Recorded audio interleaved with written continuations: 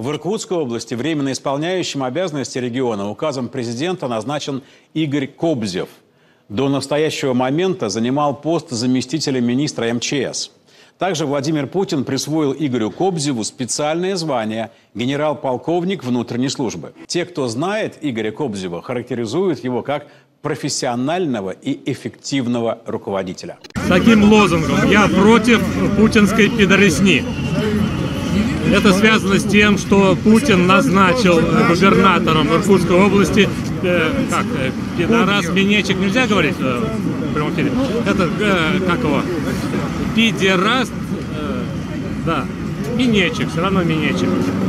А я об этом человеке выкладывал неоднократно ролики, снятые в его кабинете служебном, где он делает минет своему начальнику, когда еще служил подполковником в МЧС. Так он себе насосал карьеру. И сейчас вот этот сосун будет э, руководить э, Иркутской области. Министр МЧС Евгений Зиничев дал новому главе Иркутской области такое напутствие. Надеюсь, на своем новом посту, в своей новой работе Игорь Иванович будет руководствоваться принципами неравнодушного подхода к проблемам каждого отдельного гражданина Иркутской области.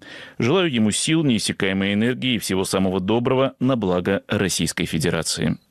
Жители Иркутской области, смотрите осторожнее. Если вы пожмете ему руку при встрече, посмотрите в ролике, что он делает этой рукой.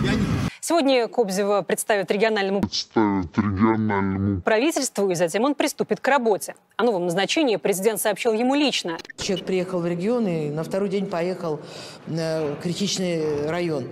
Э, человек с большим опытом и пониманием, как решать эти вопросы, а главное, с большим желанием работать. Я думаю, что э, он справится и сделает все, чтобы как можно быстрее ликвидировать последствия этого тяжелейшего паводка и помочь людям. Выборы, выборы, кандидаты пидоры.